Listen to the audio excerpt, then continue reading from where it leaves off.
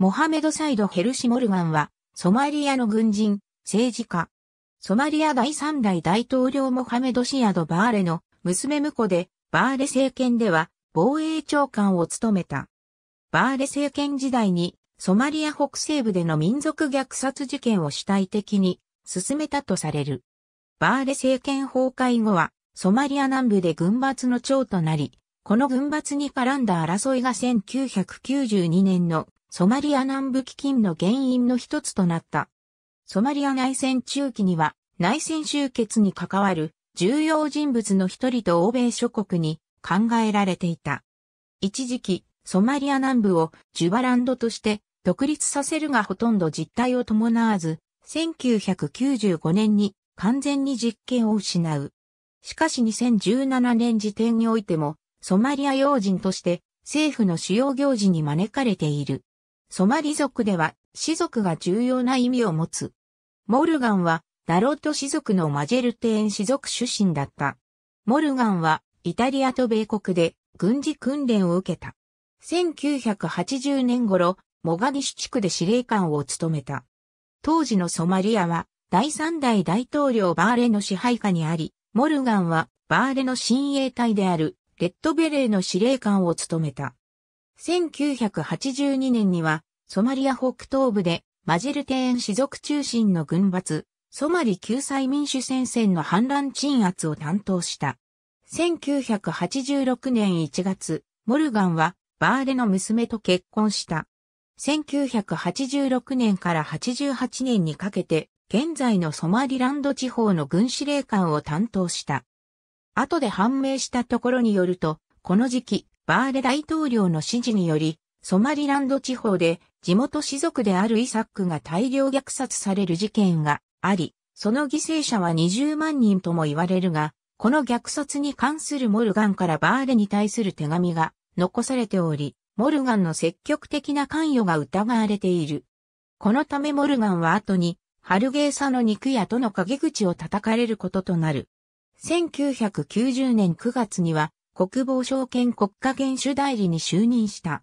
1990年11月25日にソマリア国家軍の総司令官に任命された。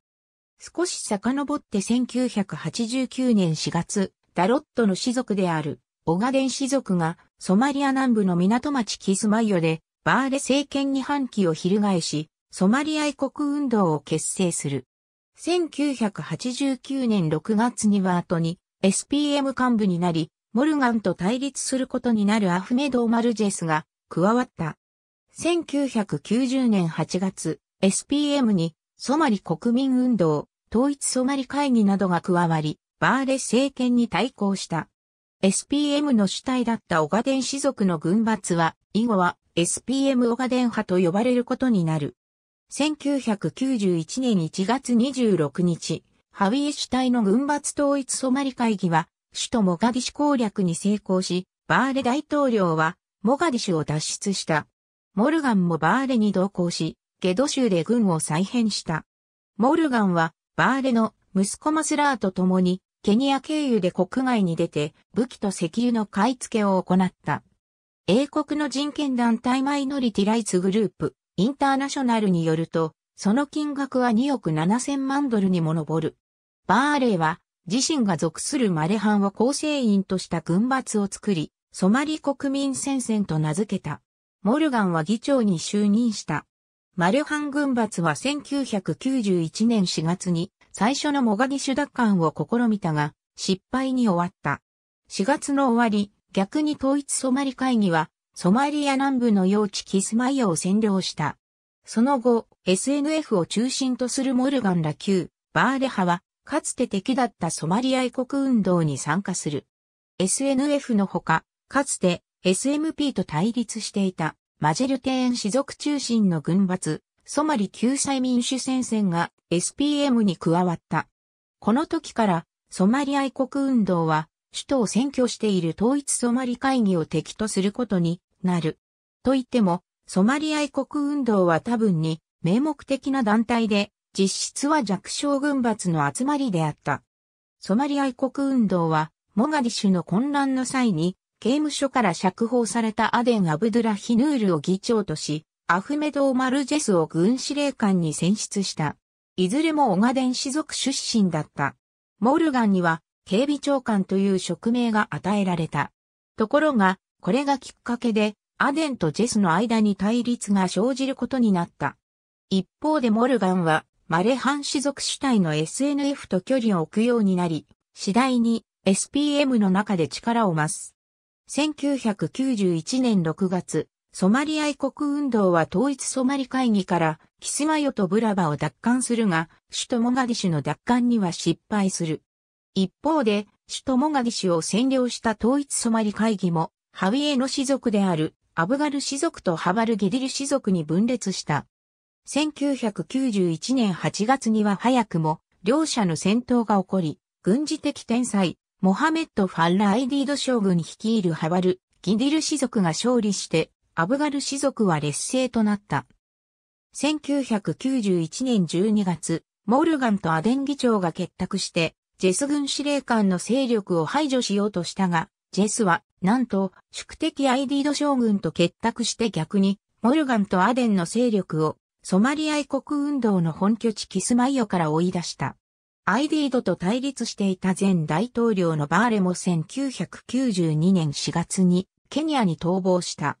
結果としてソマリア愛国運動からジェスが抜ける形となり、モルガンはソマリア愛国運動の代表格となった。モルガンはケニアからの支援を受けることに成功したと言われる。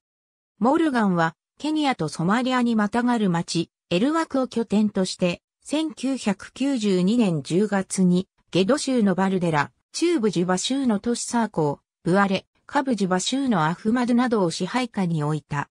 モルガンは続いて、キスマヨ攻略を試みたが、ソマリア内乱を憂慮した国際連合安全保障理事会はソマリアへの武力介入を決意し、12月にアメリカ軍主体の統一タスクフォースが結成された。ユニタフは作戦の一環として、キスマヨに進駐した。ただしジェスによるキスマヨ支配は引き続き認めた。1993年1月8日、モルガンは国連主催でエチオピアのアディスアベバで開かれた国民和解に関する非公式準備会議に参加し、ソマリア内戦終結の決議に署名した。それにもかかわらず、同じ1月にモルガンはキスマヨに攻撃を仕掛け、米軍に撃退されている。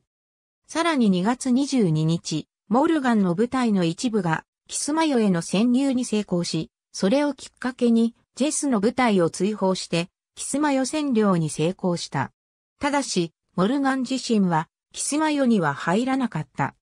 この時の国連は第一次国際連合ソマリア活動を開始して、キスマヨにはベルギー軍を駐留させていたが、キスマヨの支配権がジェスからモルガンに切り替わることに対して、なぜか介入しなかった。もっとも、キスマヨでは在住の長老たちの意向が強く、モルガン占領後も、必ずしもモルガンの権威は十分ではなかった。また、ユニサムでも、モルガンを信用していない意見が強く、キスマヨの実権が誰にあるのか、不明確な時期が続いた。とはいえ、モルガンは重要都市キスマヨを含むソマリア南部の多くの都市を占拠しており、この時がモルガンの絶頂期だった。